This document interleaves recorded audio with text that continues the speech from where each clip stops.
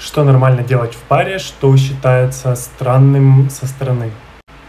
Э, нормально спрашивать, уточнять всегда, «А ты меня любишь, как ты ко мне относишься, вот. Даже несмотря на то, что вы уже однажды поклялись друг другу в чистой искренней любви до конца своих дней, в горе и в радости,